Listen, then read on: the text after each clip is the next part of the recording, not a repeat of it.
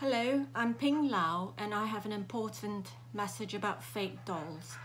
Now, a fake doll is made when somebody takes a kit, say, of a doll here and makes copies and tries to sell them. Now, that's totally illegal. To make my message as short and clear as possible, I'm going to use some written signs. So here goes. Stealing an artist's work is a crime.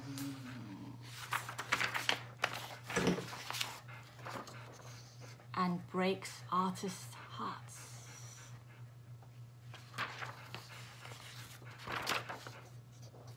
Fakes destroy the livelihood of artists.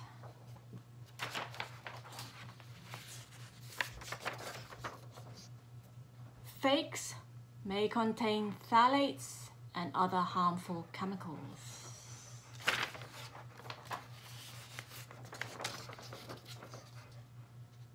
Fakes are badly made, distorted, and have the wrong parts.